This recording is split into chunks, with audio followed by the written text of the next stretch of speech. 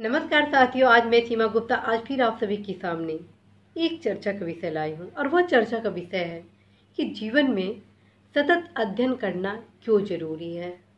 साथियों, यदि हम जीवन में सतत अध्ययन करते हैं तो हमारा सतत विकास होता है।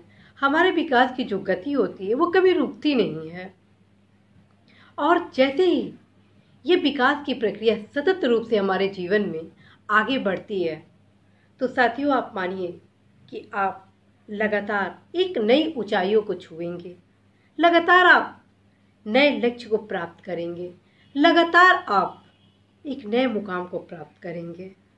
क्योंकि कहा जाता है कि यदि आप सतत अध्ययन करते हैं, सतत अभ्यास करते हैं, सतत परिश्रम करते हैं, सतत रणनीति के साथ अपने कार्यों का पुनरीक्षा करते हैं तो आप निरंतर सफल होते हैं।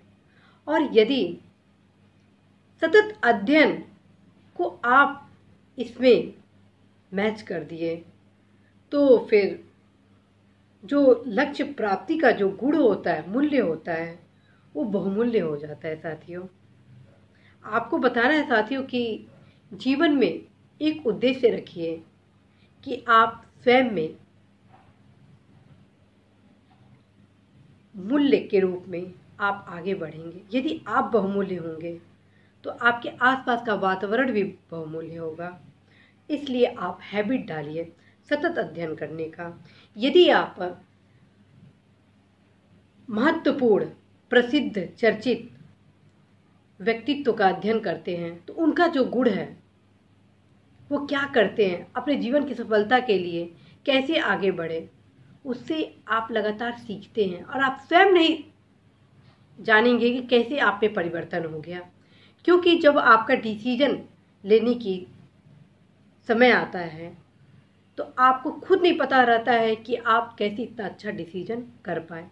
यदि आप ऊँचे ऊँचे हस्तियों से, चर्चित व्यक्तियों से, समाज के प्रतिष्ठित व्यक्तियों के जीवनी का अध्ययन किए रहते हैं तो अवश्य जो डिसीज़न मेकिंग आपका होता है, वो काफ़ी स्ट्रांग होता है। वही दूसरी तरफ़, जब हम अच्छे अच्छे लोगों की लाइफ से संबंधित स्ट्रेटजी वगैरह पढ़ते हैं तो हमें कैसे, किस परिस्थिति में क्या करना है, ये सब हम सीखने की क्षमता विद्यमान करते हैं। हमें पता होता है कि इस परिस्थिति में ये हुआ। इस परिस्थिति में ये हुआ। अगर हम ऐसी रणनीति अपनाते हैं तो ऐसी उसका परिणाम निकलेगा। तो इन तमाम प्रकार के कला हम सीखते हैं और यह हमें मिलता है सतत अध्ययन से। हम ये सोचेंगे कि क्या फ़र्क पड़ता है एक घंटा पढ़ने से, क्या करना है। लेकिन साथियों, आप एक घंटा ना पढ़ें।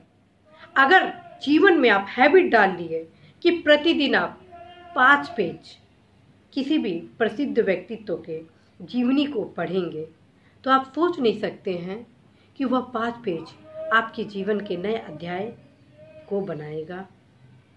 वह पाँच पेज आपके जीवन में सामाजिक, आर्थिक, राजनीतिक, सांस्कृतिक आदि सभी रूपों से आपको कैसे विकसित कर देगा, आप स्वयं ही अवगत नहीं हो पाएँगे।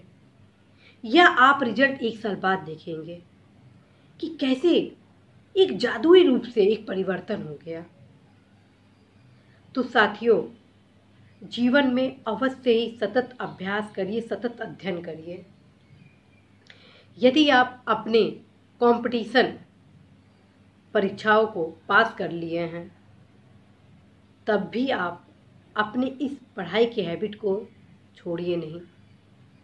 यदि हम कितने भी व्यस्त हों कितने भी हमारे पास समय ना हो, इसके बावजूद हमें अपने जीवन में हर दिन पाँच पेज पढ़ने का समय अवश्य निकालना है। यदि हम अपने जीवन में प्रतिदिन फाइव पेज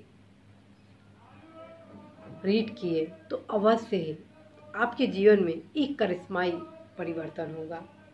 लोग आपका उदाहरण देंगे कि हाँ मैंने इनसे सीखा। तो साथियों, आप इस हैबिट को लाइए। सतत अध्ययन ही आपके सफलता को आयाम देगा। सतत अध्ययन ही आपके पर्सनालिटी को संपूर्ण बनाएगा। सतत अध्ययन ही आपके व्यक्तित्व में नयापन लाएगा। सतत अध्ययन ही आपको न सिर्फ़ स्वस्थ मानसिकता देगा, बल्कि स्वस्थ भी रखेगा। तो साथियों, इसी महत्वपूर्ण सूचना के साथ कि कैसे सतत अभ्यास से हमारे पर्सनालिटी में निखार आता है, मैं सीमा गुप्ता आप सभी से विदा लेती हूँ। नमस्कार।